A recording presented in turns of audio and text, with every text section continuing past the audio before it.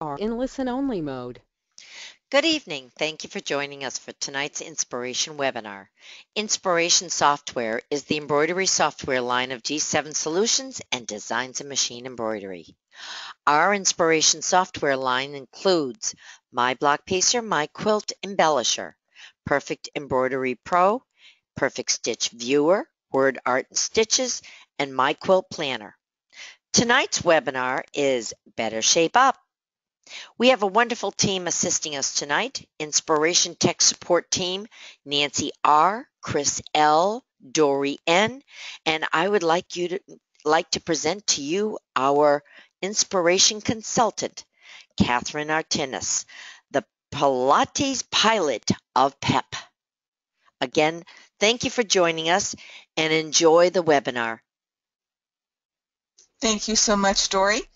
And uh, this evening is Better Shape Up. And with that title, I'd like to give a little shout out to the, some ladies in Michigan who have told us that they are losing weight learning their PEP because while the video or the uh, webinar is going on, they're on their ellipticals and trainers and so forth.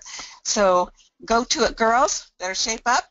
And actually, I'd just like to give a shout out to all of you who join us uh, each month for the webinars. You're the reason we're here. So thank you very much for joining us, and we'll go ahead and start. Tonight we play with what I think is one of the most powerful tools we have, and that is the Shape tool. It can be used to draw from scratch, reshape artwork and complex fill. It works on true type text because that is also artwork. And we're going to jump in here to our screen. Something that goes hand in hand with our shape tool is our artwork tool up here on our top toolbar. The drop-down offers pin, rectangle, ellipse, triangle, diamond, most of which are polygons. If you need a more detailed review of the artwork tool, please revisit the 2015 July webinar that was on Artwork Appreciation 101. And tonight we'll start with using our pen. The pen can be used for line drawing and tracing and open and close shapes. And the way we do that is we simply click, move the mouse to another point and click, and we can draw mountains if we'd like, and just continue with a zigzag or a straight line or not so straight line. A right click will end that shape for us. We can also uh, do shapes that are somewhat closed. Again, a right, uh, not closed, somewhat open. A right click will end it for us here. I'm going to go ahead and grab my different color at the bottom. We can do closed shapes like this star. And when you get to do a closed shape, you can just come right back on your original point, click once, and right-click to end it. We'll come back to that and talk about closing our shapes.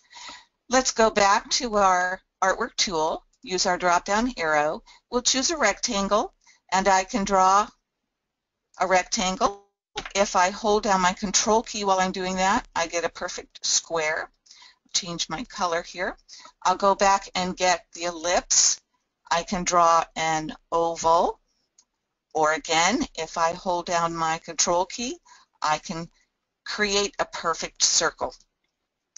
Once we have these artwork shapes drawn, we are going to go to our shape tool, which really is our go-to for any design manipulation.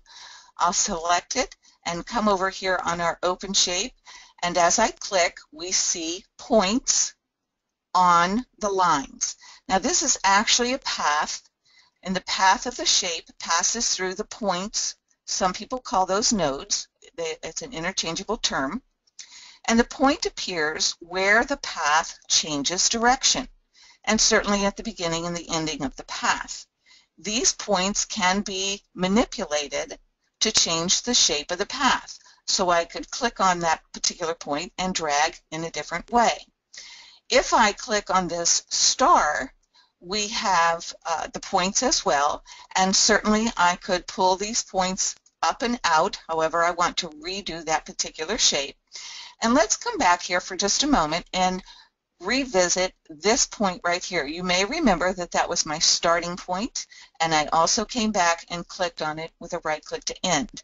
But if I were to zoom in very closely, that may or may not be a closed shape. So what I can do is go over and get my shape key again, and I'm going to right click on that point, come down, and ask it to close the line for me. And you can see that it does close that shape. That's a very good habit to get into um, if indeed you really want the closed shape. Another thing we can do with our right click is a right click on a point. We are given characteristics of that point. This group of four right here. The line is going to give us a straight path into the point and out of the point. And by default, with this simple draw tool, that is uh, the point that is currently on all of these that I've done, except of course the circle. It is the line. If I were to come down and click on smooth, a couple things happen. You see that the path going into the point and out of the point is curved, and I'm also given a handle. I can click on that handle and drag either or both sides and you see what happens as I continue to lengthen that handle. The arc of that path is being manipulated. The thing about smooth is that handle will always stay straight. So if I drag and go to the side, then I'm altering both sides of that path. If I right click and come down to symmetrical, again it looks very similar to the first one, but with symmetrical, watch what happens when I drag the handle, they will um, size evenly so that if I drag in or out, it's going to remain the same length.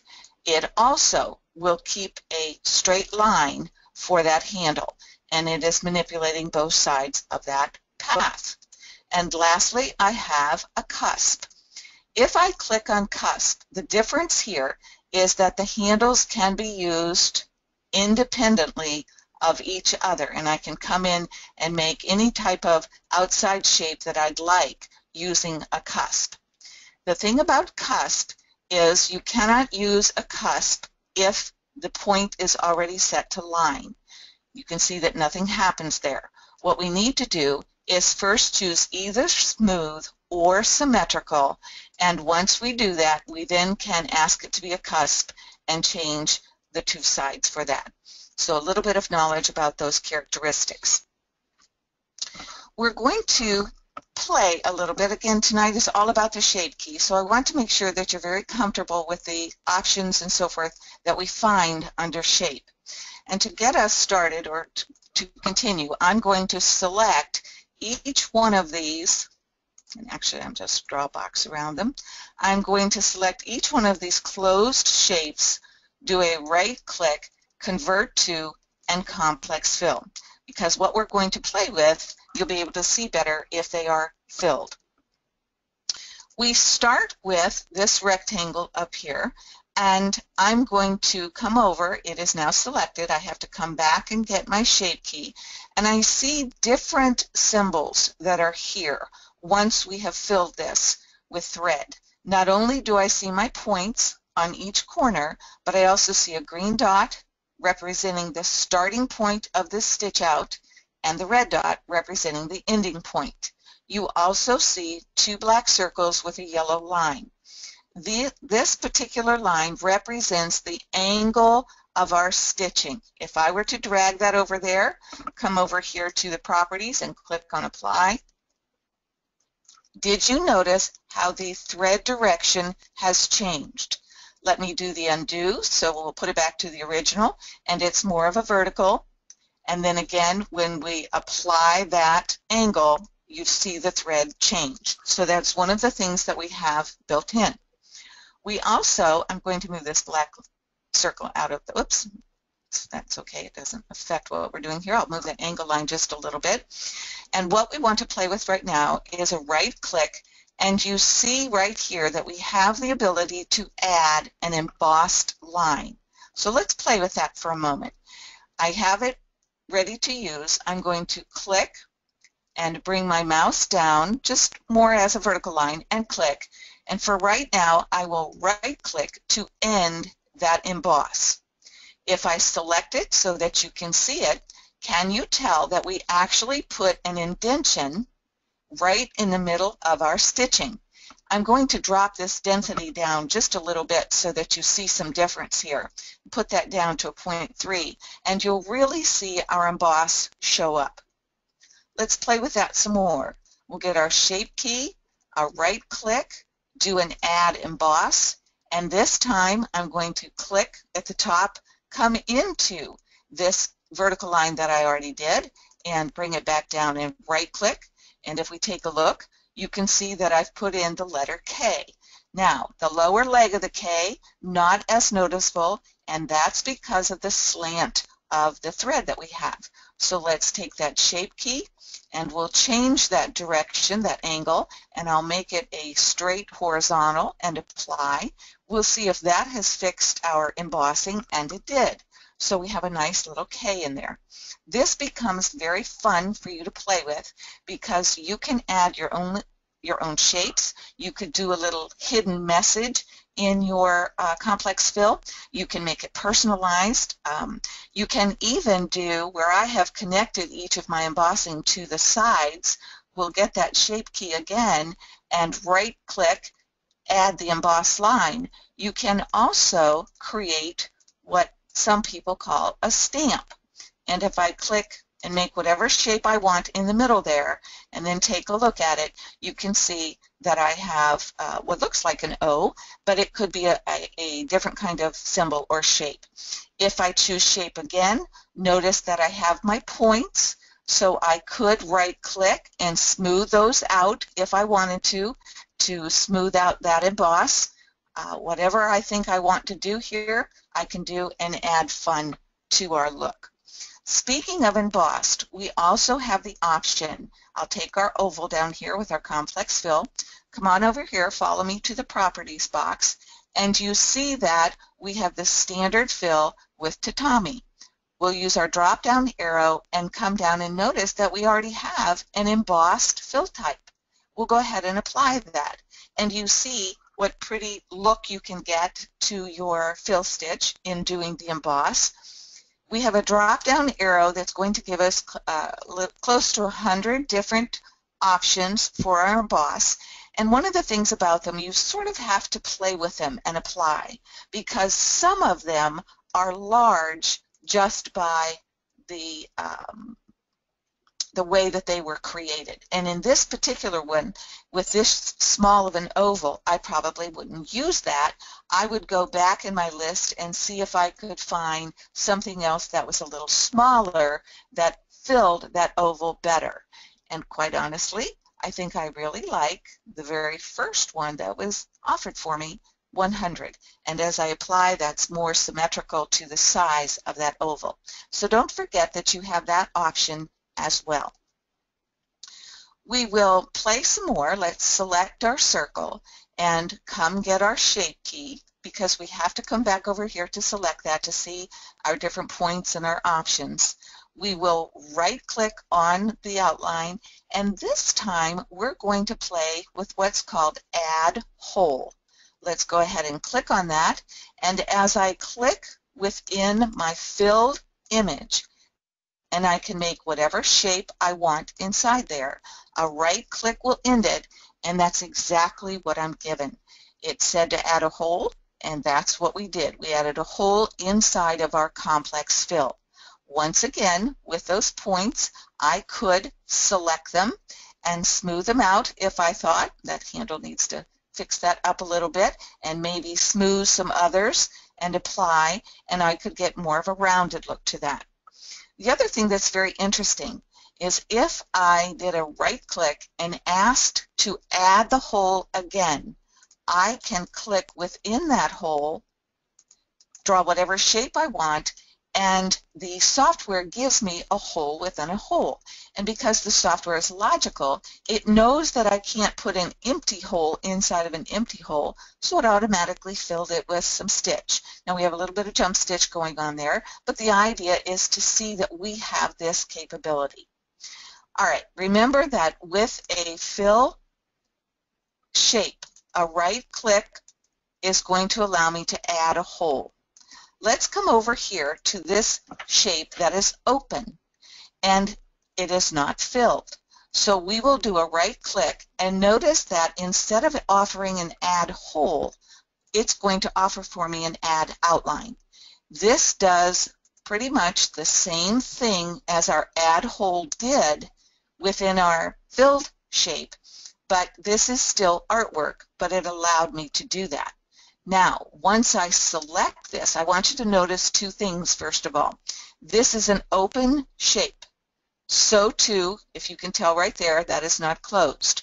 Yet if I do a right click, convert to complex fill, it automatically closed that shape for me because again, logically, the software knows I've asked to fill it and you can't fill something that's open. So it automatically closed both of those. And once it was a complex fill, here is my hole. Now there's another way that you can do that with the combine key. We've done that in past webinars, but we're talking about the shape key this evening, and this, I think, is a very fun look to that. Um, when we are talking about the shape and adding holes, that might look to you like something you would never do, but let me give you a practical example. We'll bring up a clean screen. I'm going to go down here to my library, and here are the folders that we have in the software. I'm going to scroll down until I find the Perfect Embroidery Pro free designs. You all have these when you have installed your Perfect Embroidery Pro. They come with the software. And if I scroll down just a little bit, I know the one that I want is this hot chocolate. I don't know where you're living at the moment, but here in Erie, Pennsylvania, hot chocolate tonight would be just perfect. I'll go ahead and back out just a little bit so you can see the cup and we will come back to sequence view noticing that this cup is grouped. I don't care at the moment that it's grouped because I'm not going to really do anything with the cup. What I want to show you instead is how you might use that add hole to your advantage to something like this. So let's go get our ellipse tool and I'm going to draw an oval around my cup. I will select both of them. I'm going to select my cup and my oval, come up here to our center line, and now they are centered. And then I'm going to back out just a little bit here so we can see better. Coming over to my side toolbar, I'm going to turn on the grid. Now, some people like their grid lines up all the time. I'm not one of those. I like to create with an empty background, but it's very easy to pull that grid up when I need it, such as in this situation. And just as a refresher for some, and maybe uh, some new knowledge for those of you that got the software for the holidays, if I right-click within that ruler, I can go into the grid settings and set the horizontal vertical placements of the lines. You see that I have mine set at a half inch. You could set yours at an inch, at a quarter inch, in millimeters, whatever was convenient for you. Now, knowing that this is artwork, I'm going to click on my Shape tool, right, and ask to add an outline. When you're talking about artwork, the outline does not have to be in the middle. It also can be on the outside of the shape and I can come right up here and do a right click to end. Now I have added that outline. Something else to point out to you here. I can see I'm not very even. Uh, I might bring that over just a little bit here on the sides. I think I'm still uneven. Um, we will scroll down and take a look, please, at this artwork down here. If I scroll we have two pieces of this artwork, but notice that when you use the outline, the add outline or the add hole, it's going to treat that unit as one. So I'm going to now right click, convert to complex fill, and it fills in that uh, frame for us. I'll turn on my 3D. Since I'm finished with my grid lines, I'll go ahead and turn those off. And here is our frame. Perhaps make that just a little higher. So I'm somewhat even on the top and the bottom. Oop, that's not going to work. It's going to pull both of them. But one, once we have this, we can leave that as a fill stitch, or I could come over into my fill type and choose something a little softer, perhaps a motif, and apply that. And I see now that's a little bit more airy, not quite as heavy of a frame. I could come in and choose any of these that I like. I'll go ahead and choose the diamond and see what that looks like.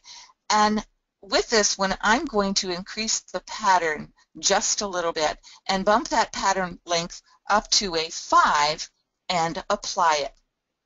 All different fun things that you can do while we have this frame, to show you again the shape tool in the create outline, while I have it here, I want to refresh something with you as well. A right click, please notice that I can either create a border or create an outline. I'm going to choose to create the outline, set that distance at zero so it's right against my shape, and apply that. I'm going to right click on the color so you can see it and yes, it has given me an outline or a shape uh, butted up right to that rectangle. And you'll notice that that is artwork. So I would need to finish that with a convert to run. And I'm going to come over here and choose my favorite bean and apply. And here is my outline. Now, I want to show something to you about outline. And here we can refresh the frame is right here in blue, and I want to not see that for the moment. So I'm going to click on my eyeball and hide that blue frame so that you all can see that an outline gave me just the outside. All right, we will come back over here. I'll click back on that eyeball, and I'm going to select that outline and move it out of the way so that I can show you what border does for us. Selecting the blue, right click, create border, and here we have a difference. It has come in in blue, so again I'm going to change the color so you can see it. And two things are different. I'll come over here and hide my frame again, and do you see that border gave us not only the outside of the shape, but the inside of the shape as well. And also, in that one click, it set this border as a standard run stitch. So all I have to do then is change to bean if I want to, and then I have that look, and I'll come back over to my sequence view and click on my uh, eyeball so that I can see my frame. So that was a quick review for you between the difference of outline and border. All right, we'll catch our breath right there. Dory, do we have any questions coming in? Yes, we've got a couple of them. Our friend Kathy asked, can you create an outline which you just showed us on the inside of the um, oval, which you just took care of? Thank you very much. I, I looked on that list. She love, caught me love unaware. people to think ahead, though. Mm-hmm. Yes. Does the pattern on the inside of the uh, border area, does that always come in broken up? You closed up that broken up look with the inside border. Yes, and that is one of the reasons I uh, chose the either the border or the outline because when we have this, uh, let me select this and take this out of the way and I want to show you here what we have. I'm assuming you're talking about this area here. Yes. Yes, the yes. hatch design. And it, it, this actually depends on the shape and the size of the uh, pattern length that you've set and the motif that you've you've set. It, there's a, a, a, number of different combinations that are um, causing this effect. So if I increase that size, I might have less breaking or I might have more breaking. But generally, I can say 99% of the time, if you're going to use a motif or uh, any type of motif, it's going to have some area that's broken, and that's just due to the way that the um, stitch is programmed to stitch out. one of the things you can do to play around with that to see if you get less or more. Um, now, this particular stop and start is on the inside of the oval, but you can play around and move your stop and starts, which may or may not give you a different look uh, of the broken up on the sides. It might make it not as nice or nicer. So it's just a matter of your playing to see it tightened up this edge and this edge, but I have uh, probably about the same amount of breaking in that center oval. So 99% the answer is yes to that. You'll have a little bit of breakage. So that's just simply a mathematical algorithm as opposed to anything wrong with that design, correct? Oh, absolutely, absolutely. And it's the algorithm based on all of the other um, choices that we've made. Once again, the choice of the size of the diamond, the choice of the motif itself, the size of the outside shape. Uh, there's a lot of things going on when we ask the software to do that for us. Um, absolutely nothing wrong with the motif fill at all. No. Super. Thank you. You're welcome. All right. And can you tell us one last one last question? Um, when you're doing any kind of embroidery like this, Mhm. do you use a cutaway stabilizer for behind this design? Um, sitting and trying to pick out tearaway would be very frustrating. Yes, um, and the the cutaway, the the fill of this hot chocolate would benefit um, from a cutaway. You might, depending on the type of fabric that you have, you may want to just cut away the inside of the oval and then the outside shape, um, depending. It depends on the project that you have. But yes, either a cutaway um, or again, what you're doing it on, you, a wash away would also help with not having that. But I, I would agree with you with the tearaway. If it's okay, depending on the, the project that you have or your project's going to be lined, um, that would be the only reason I'd use a tearaway is if I was going to have the back covered. hmm Super. Thank you. You're so welcome. Thank you all for those questions. We're coming now to a clean screen, and throughout this webinar, I'll be showing you some shortcuts or option changes of which you might not be aware. Sometimes an instructor will show you these in your first or second class, and you might not know enough yet to see why they would be helpful.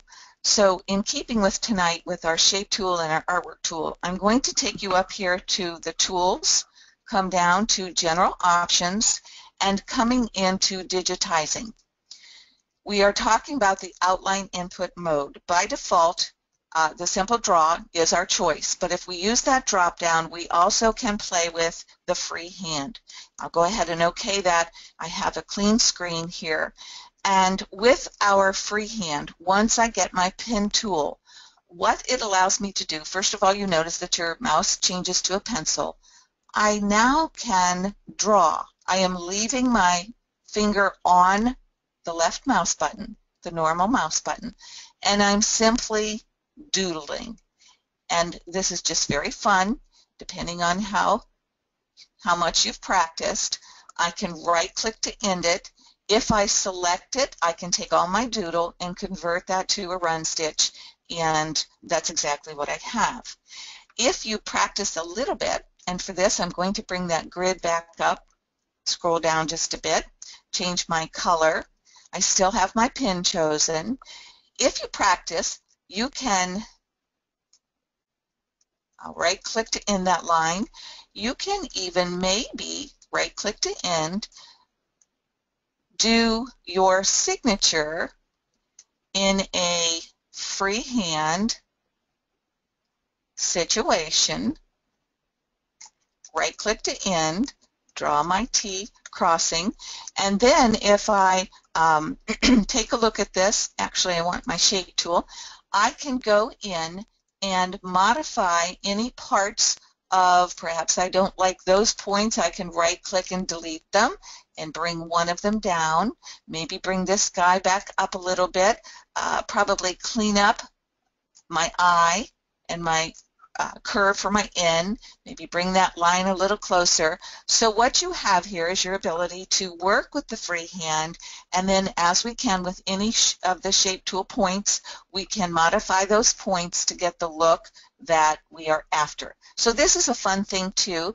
and sometimes this freehand might be the better choice if you are working uh, with a specific kind of artwork.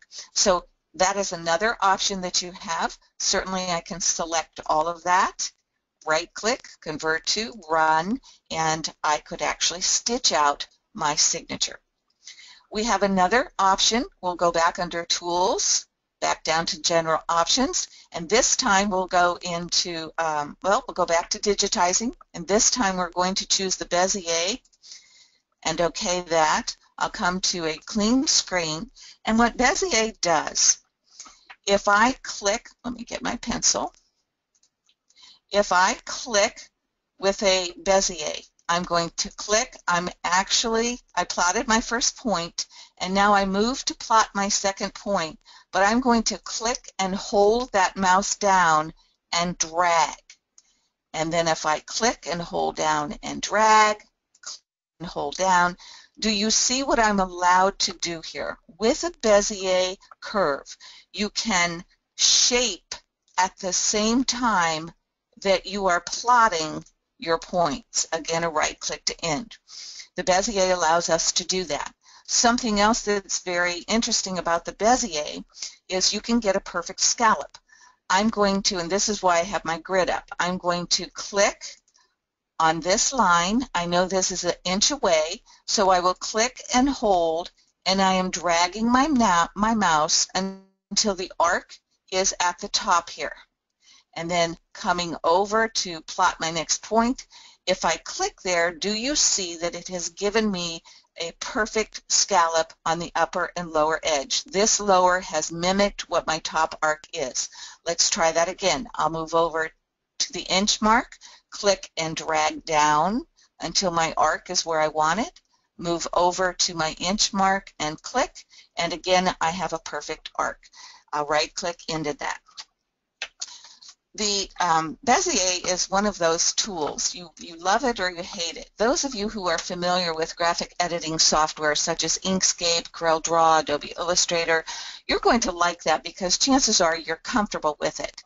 Those of you who think it's confusing, not to worry because whether you are using your Bezier or your Simple Draw, you can always just plot your points. And all I'm doing here, even though we still have Bezier chosen, I'm simply plotting my points. I can grab my shape tool, select all of those points, right-click and smooth, and I now have a scalloped edge. What I will probably have to do is a little bit of editing because they're not exactly even as those are that I did on the Bezier. So again, just a little review of that. Um, before I forget, I'm going to go under Tools, come back to General Options, into Digitizing, and put that back to our Simple Draw so we can continue. The other um, thing I'd like to show you while we're here under Options is under View. This is personal preference right here. Show property tabs as icons. Take a look over here in the property artwork on the um, toolbar for it, you see that we have icons that are indi indicating the different portions of the properties. If you prefer, you can remove that check mark and say OK, and instead notice that those tabs have gone to words. If you are new, you might find that easier. I'm going to leave that up to show you uh, pros and cons of that. Um, and why I choose to leave them as icons. But again, this is a helpful option that you have if you are new to the software. All right, we're coming up to a clean screen, and I'll go ahead and get rid of my grid line. And what I want to do now for you is to play with some other types of artwork. We'll start with our background tool. We're going to be looking at our um, raster and vector images this is a screen that I have borrowed from that July webinar I told you about in the beginning, where we talked about the different kinds of artwork that you can choose, raster and vector.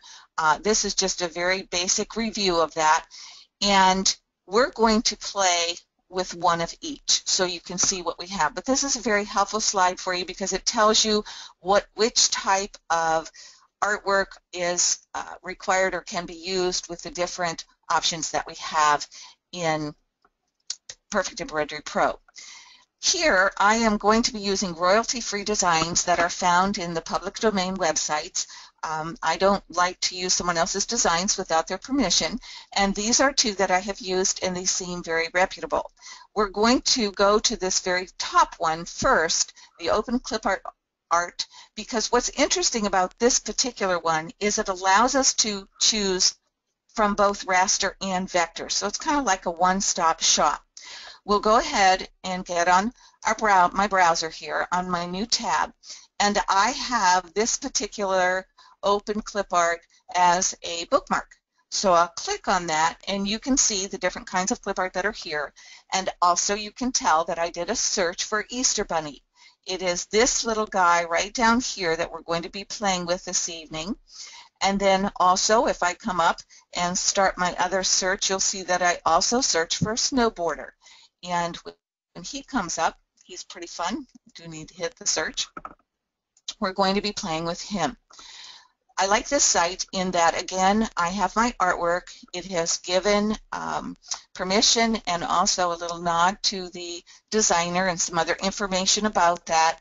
But as we scroll down, this is where we can choose the format that we want. An SVG is a vector and a PNG is a raster. I'll go ahead and click on the SVG. Very often I will download both of the types. You can see that the download has happened right down here. And then when I go to do the PNG, take a look. I can choose a big, medium, or small.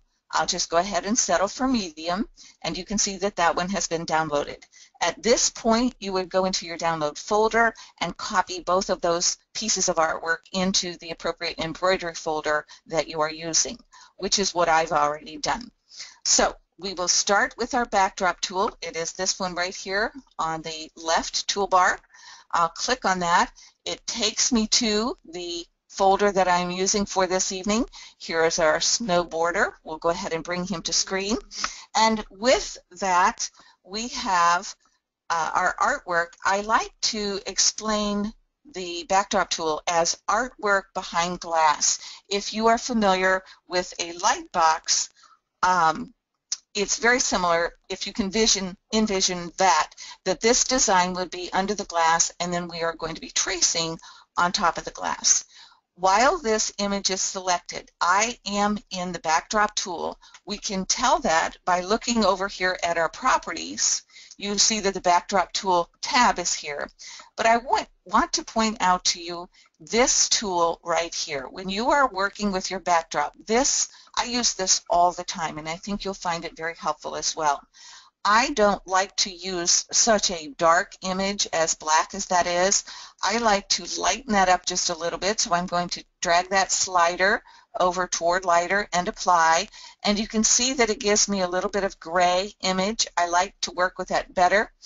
If you are finished with the drawing and you slide it all the way over to lighter, it is gone from view. It is not gone from your design or your um, file.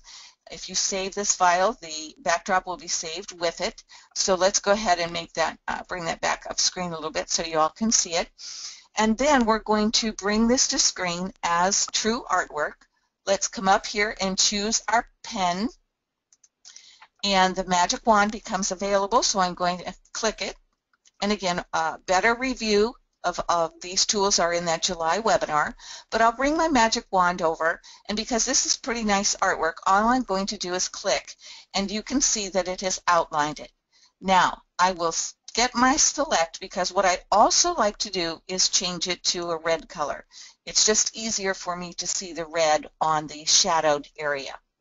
We'll go ahead and get our zoom key and zoom in to show you that when we come back and use our shape tool, because that's what this evening is all about, we could go in and work with these individual points, deleting the ones that we think are not necessary. We certainly could drag and select a couple and delete a few at a time. You see I've got a little bit of wobble and the reason for that is because this is a raster image and if I zoom in as a little bit of review here, raster images very often have a jagged edge because they are made of pixels.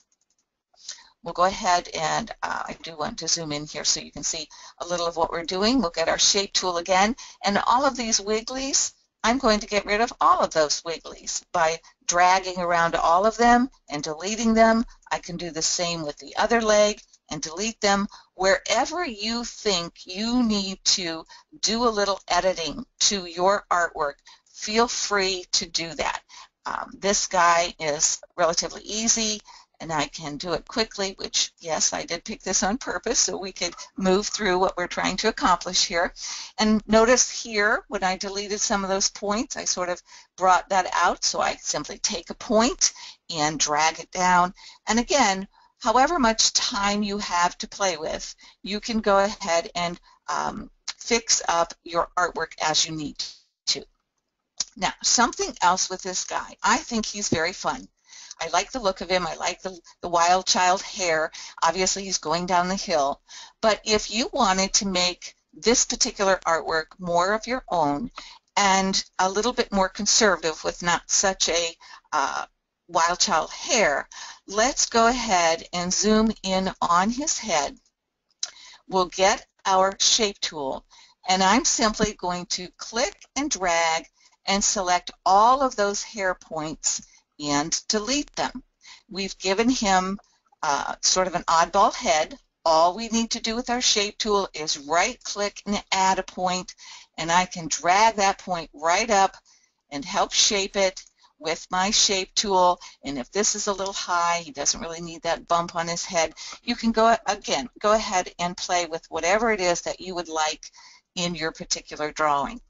As we back out from this and I right click and convert him to a complex fill, turn on my 3D here, I look at him and just for fun, I think he looks cold. Again, living in Erie, Pennsylvania, uh, very cold here. You're not going to go out without a hat.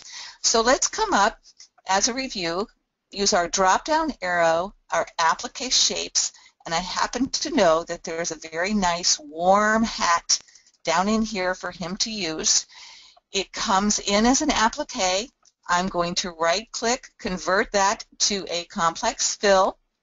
I also want to come up and use my flip horizontal key, size this hat down a bit, put that on his head, and he looks much warmer. But we have one other situation. Take a look under his hat. I have stitching for his head. So let's put that back where we want it right click on that hat and remove those overlaps. Software takes care of that and now I have those stitches gone under the hat. I'll use my undo key to put it right back where it was and I am good. That remove overlap will work on our complex fill. It will not work on digitized fonts um, if you're trying to do something like that. Okay, so here's our first artwork. We'll do one more. And as we come, this time we'll use our other option, our File, Import Artwork. I'll come over here to our Spring Bunny. It comes on screen. What you probably don't see very uh, well is these two white ears. I'm going to delete those. Select the ears, drag them up a bit. We're going to be playing with our Shape key here. We're going to start, I'll zoom out so you can see, I'm going to come up here to my artwork and get my ellipse, hold down my control key, and drag a perfect circle, select it, and select the body of my bunny, and I would like to come up here and do a horizontal center for those two. Then I want to drag my ears onto my bunny head, use my um, shape tool and I want the tip of that ear to be a line. Let's do the same with our shape over here and make him a line. And I then would like the ears to be a part of the head. So this is a little refresher on our weld tool. I will select one ear and the head. When you use your weld tool, right up here, weld can only be used with two selected items, not one, not three, four, or five, just two, because it can only put two things together at once. So now if I hit my weld, I see that the ear has become a part of the head. I'll select the other ear and the head and weld again. This is all one piece. I'm going to move it up just a little bit. And now we're going to go back to our shape tool. Let me zoom in just a little so you can see what we're going to do. Choose shape and I don't want this bottom circle to be part of the design. So another option that we have with our shape tool is to right click and split that line. Come on over here where they intersect, right click, split that line. And what it does is it breaks this part from my head. I'll go ahead and delete that and zoom out and you can see what we have. Once again, I'm going to select the head and just the body and do my horizontal center again so that our little guy is fine. Now, I see a little uh, situation that I have here that I can fix very easily. If I zoom in, take my shape and get my head, I can drag that shape down to the line and I can drag this one back up to the line, apply that, zoom back out, and now I'm happy with our little bunny. And at this point, you could do whatever you'd like with him. Uh, I have a couple of designs already created here so that you can see. You could choose to duplicate the bunny and make them appliques. You could put Happy Easter, uh, Welcome Spring. You could put the kids' initials or the names, whatever it is that you'd like to do. Another thing that I did, um, having fun with our bunny, is I made a tall one. And here all I did, that's the bunny that we created. And with our pen tool, drew a straight line. With our ellipse tool, drew an oval. And then got that in proportion until I was happy, copy pasted and did a mirror image. And then here I put a note on the screen. If you want to know where I got this grass, it is from your free designs in May of 2015 and it is the beach chair. To refresh you on that, we would go back up here in our library to Dime Free Designs. I'll bring this bar down so you can see it a little bit. Now I have put mine into years uh, folders. You may or may not have done that yet, but if I scroll down till my May of 2015 and scroll down, this is the beach chair that I'm talking about, and I simply borrowed that grass to put it with my bunny. All right. Um, we do have one more, and I have this one partially created for us. We'll bring up the kids. And I did tell you that when you save a design, the backdrop is saved.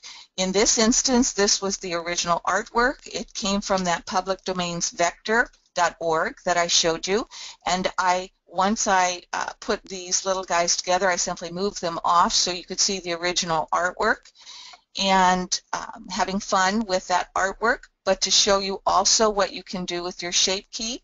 If we want this little girl to have bangs, I am going to get my select key and select her face, coming up here to do a copy and then a paste, and want to change that to brown. Did I actually? I'm going to come back into that because I don't know if I'm showing you if I actually hit on my copy and then paste. I want to change that to brown, bring my shape and select the lower portion of all of those points, a right click and delete them. Let's go ahead and apply and we have given her bangs.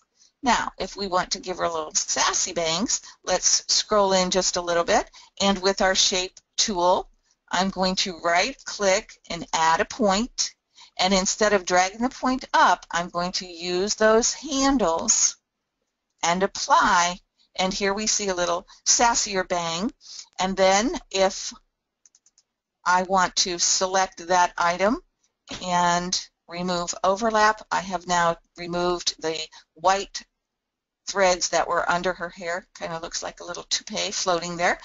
Put it back on your head. But again, your shape tool just offers all kinds of things that you can do very easily. Dory, we'll stop there and ask if there's questions. Yes, one of our friends, Susan, asked if you can do an overlap, you can remove the overlap if the item is not grouped or not ungrouped. Shoot, it's grouped. If the item is grouped, are you still able to work with the overlap tool? All right, we'll try the, um, let's see here what I want to play with to put that, well, we'll just put something on screen here. All right, we have a circle, and then we will do a rectangle, and I will select, make that one a red so we can see what's going on, select both of them, and convert to complex fill. And, uh, okay, so if I, normally, I could choose my red and right-click, remove overlap, and that is taken care of. All right, so the question becomes, what if these two were grouped? When they're grouped, the answer to that is actually to try it. And you can see that when they're grouped, I'm not even offered that particular feature. So the answer to that would be no. Okay. Thank Okay. you so much. This, and, and actually, Susan, that's a great question because it brings up your other, for so many uh, questions like that, can I, will it, um, to give it a try and bring up the menu and see if that menu is offered to you. Um, notice that the border is not offered to us here, but I can do a create outline. So it just depends on what you have going on, um, what particular features are available to you. N- Never, it's never harmful to tr- give it a try. Super. All right. Thank you very much. Okie doke. We have one more. Um, and what we want to do here is use our shape key to take an existing design and remove some of those items from it and turn it into a different type of design. All right. I'm going to move this guy up just a bit here so I don't run into, I have some uh, room to get my shape tool going and then I'll zoom in just a little bit so you can see it. I would start with um, working with him. I'm going to come back to my sequence and I see that he is indeed grouped. So to answer our question earlier, to make sure that I can do all the things I want to do, I'm going to first come up here and do an ungroup. And then I can select, I know that I can I know that that orange color is not necessary for my uh, just for the snail itself, the shell. I can delete that and then let me move up just a little bit so you can see better.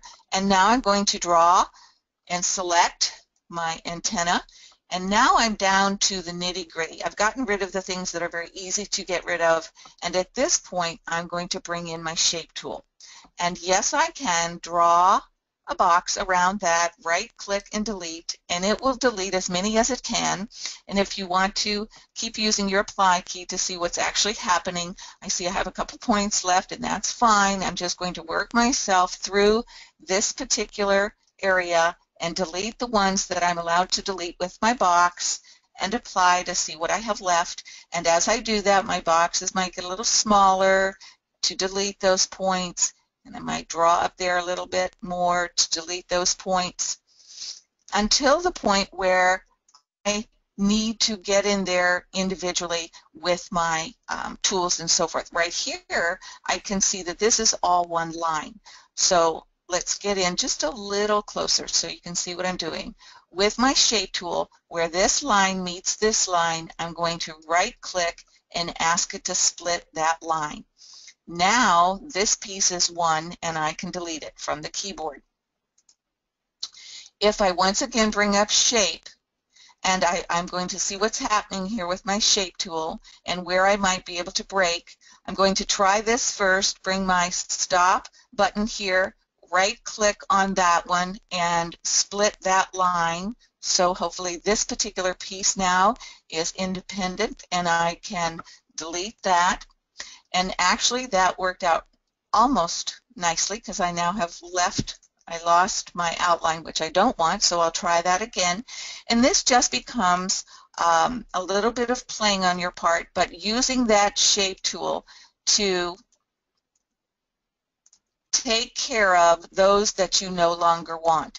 Now, with this one, let me show you. There's actually a run back and forth here. So these points have double points to them. So when I do a delete, it looks like I didn't delete it, but there's actually a back and forth. For example, that guy right there. So sometimes that's why I will draw a box around them just in case there's two points. I can take care of both of them at the same time. And for something like this, I simply would take that and tuck that point in. Here, I would take that and tuck that point in as well um, if it's not very and then simply I need to uh, take care of this and I will right click and split that line again to see if it will allow me and split it up here at the top and now I might be where I need to be to delete that and simply tuck in or even delete that little bit that's right there. Nope, that wasn't it. That gave me my whole black line. So in that case, I would take this and simply bring that point back in. There's two there. And bring that back in to the edge. And sometimes it just takes a little bit more playing, but it depends on how badly you want this particular shell all by itself without the snail in it. So again, the shape tool can be very powerful in helping you to take one design and turning it into another. All right, do we have any final questions, Dory? No, everybody's just sitting here mesmerized. You have taught us a lot tonight with the shape tool. Very good. Um, I thank you all. I have one other thing, uh, sort of a little plug for the March webinar the name of the March webinar is uh, Turning Modern, Making Things Mod, and what we have decided to do, Dory has had a number of questions about applique and specifically applique with the digital cutters. So in keeping with the modern or the mod theme, March will be covering creating appliques from scratch and then using, working with your applique uh, to be able to bring it over to your digital cutter for your applique pieces. So hopefully you can join us in March as well. And the other thing I'd like to do is give a little shout out to Dory because I talk about, I've tried to give you references in um, a current webinar to previous webinars and what we might have covered already. And what Dory has done for you. Here is the Inspired by Dime YouTube channel. I have it on my bookmark. If I click there, this is what it's going to look like when you visit. And I do need to turn Eileen off. Sorry, Eileen. But I would direct you to the videos and playlists. If you go into videos, you're going to get a look to your screen that they're sort of all there and interspersed with each other and so forth. But if you choose playlists, and here we have divided into groups into the software. Click on Perfect Embroidery Pro. You will find the webinars in reverse chronological order, meaning the last one that we did is towards the top. But what I want to point out to you is over here, the comments. Dory has made it very easy for you to see what things were covered in which particular webinar. So if you're looking to refresh yourself about a particular item, it will be much easier for you to do that. So um, a big thank you to Dory for making it so very easy for us to have wonderful support for our software. Thank you. And I thank everybody for joining me and good night. Have a good evening. Thank you.